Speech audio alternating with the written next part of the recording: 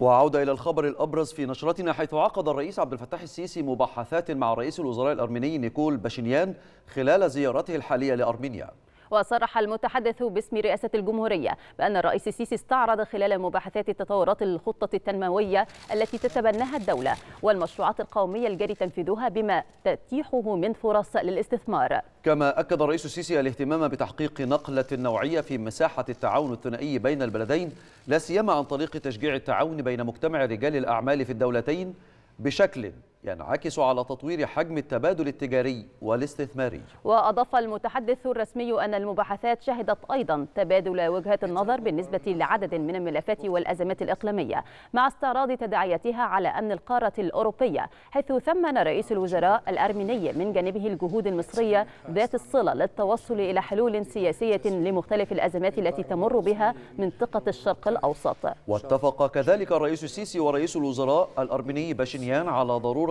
تعزيز التعاون المشترك لمكافحة الهجرة غير الشرعية من خلال منظور شامل والعمل على القضاء على الأسباب الرئيسية التي تشجع على تلك الظاهرة إلى جانب استعراض آخر التطورات الخاصة بمكافحة الإرهاب ջրային ռեսուրսները տեղում լինեն եւ շատ սպասված ձյուն է մեզ համար։ Եվ հույս ունեմ, որ ձեր այցի արդյունքներով մեր նաև տնտեսական հարաբերությունները շատ մեծ ակտիվություն կստանան եւ լիցք կստանան եւ կրկին անգամ մեծարգո պարոն նախագահ ողջունում եմ ձեզ Հայաստանի Հանրապետության մայրաքաղաք։ Բարով եք եկել։ اهلا وسهلا بك انا المشترك خلط رئيس الوزراء وعلى الدعوه وعلى حفاوه الاستقبال وعلى كرم الضيافه و... وانا كنت حريص على تلبيه هذه الدعوه وحريص على ان الزياره تبقى فرصه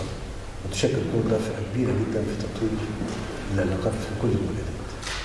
Մորին գերազանցի մեծարգո պարոն վարչապետ, ես շնորհակալություն եմ հայտնում ձեզ ինձ ընձեռած հնարավորության համար, ձեր հրավերի համար, ջերմ ընդունելության եւ լավ հյուրասիրության համար ձեր երկրում եւ ես ուզում եմ նաեւ շնորհակալություն հայտնել այն դինամիկ զարգացման համար, որը որ ապահովում է մեր կողմից այս երկրու երկու երկրների միջև հարաբերությունների ամրապնդման գործում։ الحقيقه حجم الثقه المتولده بيننا مش بس على مستوى يعني المسؤولين ولكن على مستوى حتى الشعبين اتصور انها تعطي فرصة كبيرة جدا إن العلاقات اللي إحنا عايزين نطورها تصل إلى أفاق تستحقها في كل المجالات الثقافية والاقتصاديه ده محتاجين إن إحنا نتعرف بصراحه لصالح شعبنا Այն փոխադարձ վստահությունը, որը արկա է երկու երկրների ղեկավար մակարդակներում, նաև պետք է արձանագրել, որ այդպիսի նմանատիպ վստահություն է արկա նաև երկու երկրների ժողովուրդների կողմից, եւ դա մեզ հնարավորություն է տալիս ել ավելի հեռանկարային զարգացում ապահովել երկու երկրների հարաբերություններում, խոսքը վերաբերում է բոլոր ոլորտներում, հավասարապես դա լինի տնտեսական թմշ։ Ինֆորմաց, կորսպոնդենտ,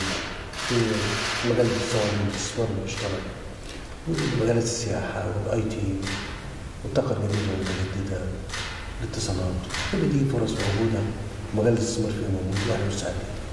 Կան շատ հնարավորություններ բազմա բևեռ եւ բազմաբոլորտ հարաբերությունների ամրապնդման եւ զարգացման գործում խոսքս վերաբերում է թե տնտեսական ոլորտին, թե փոխադարձ ներդրումային ոլորտին, թե բարձր տեխնոլոգիաների ոլորտին, թե զբոսաշրջության ոլորտին, թե կապերի ոլորտին, թե էներգիա, էլեկտրոէներգիայի եւ վերականգնվող էներգիայի ոլորտին։